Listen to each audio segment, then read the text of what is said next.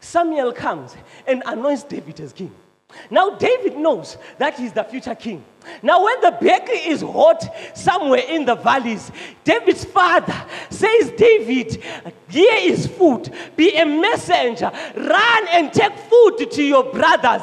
David does not think that because I am a king, therefore I am not worthy to be sent around like a messenger boy. But David obeys his father. Here is my point to you that your glory lies in your obedience.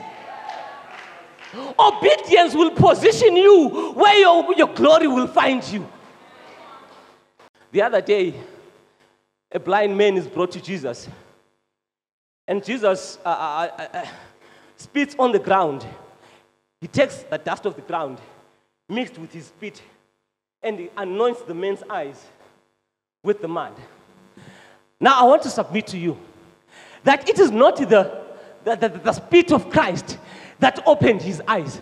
Neither is it the mud that opened his eyes, but his eyes get opened when he obeys the imperative go and wash yourself. You will not be part of the glory unless you can master obedience during the story. God says to Joshua, the priests will carry the ark of the covenant. Now, the, the, the, waters of the Jordan were overflowing their banks.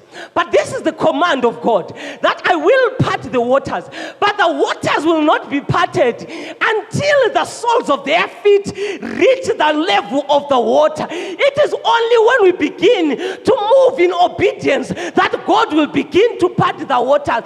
Do not wait for the waters to be parted before you can obey, otherwise, you'll never obey at all. Now, David understands that if he is to really win the battles of life, obedience is an inevitable part of it. Are we together?